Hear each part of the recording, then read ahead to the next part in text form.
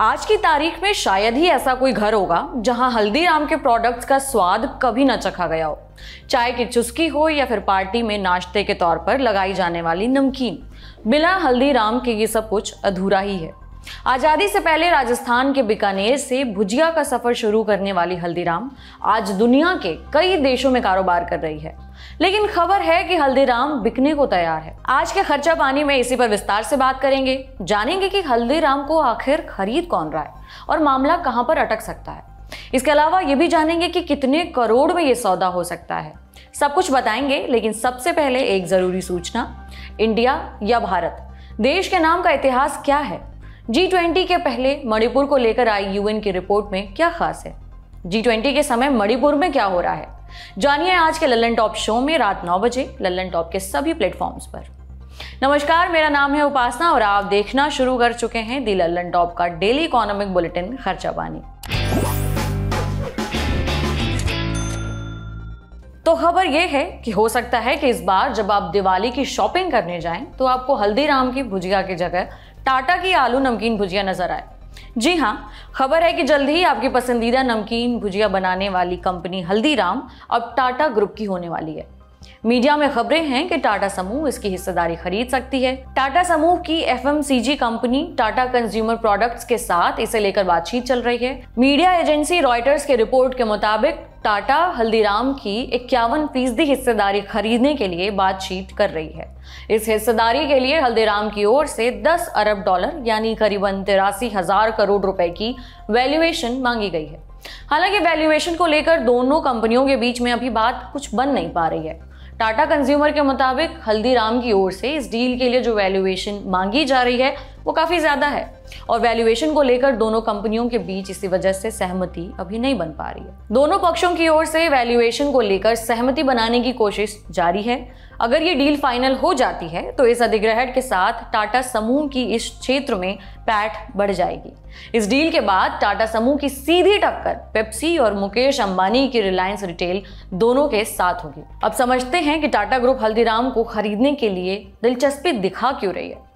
दरअसल, अभी टाटा समूह की कंपनी टाटा कंज्यूमर प्रोडक्ट्स का ब्रिटिश कंपनी टेटले पर मालिकाना हक है। भारत में टाटा ग्रुप स्टारबक्स के साथ साझेदारी के साथ कारोबार कर रही है। वहीं हल्दीराम इस सेक्टर की बड़ी कंपनियों में से एक है। इसका मार्केट शेयर काफ़ी बड़ा है। यूरो मॉनिटर इंटरनेशनल की रिपोर्ट की माने तो भारत के नमकीन स्नैक्स मार्केट में हल्दीराम का करीबन तेरह फ़ीसदी बाज़ार पर कब्जा है। वहीं पेप्सी के पॉपुलर ब्रांड लेज की भी भारतीय बाज़ार में करीब करीब तेरह फ़ीसदी की हिस्सेदारी है। ऐसे में हल्दीराम पर टाटा का अगर कंट्रोल होता है तो वो समूह के लिए काफ़ी बड़ा मौका होगा। भारत के अलावा हल्दीराम के स्नैक्स सिंगापुर, अमेरिका जैसे विदेशी बाजारों में भी बेचे जाते हैं। इसके अलावा देश भर में हल्दीराम के करीब डेढ़ सौ रेस्टोरेंट भी हैं, जो अपने लोकल फ़ूड और मिठाइयों के लिए घरेलू ग्राहकों के बीच काफ़ी पॉपुलर हैं। ऐसे में अगर हल्दीराम टाटा के हाथ लगती है तो उपभोक्ता प्रोडक्ट्स की पहुँच में काफ़ी विस्तार होगा। हालाँकि हल्दीराम में हिस्सेदारी खरीदने के लिए टाटा अकेले लाइन में नहीं खड़ी है। कई और कंपनियाँ भी इस कतार में शामिल हैं।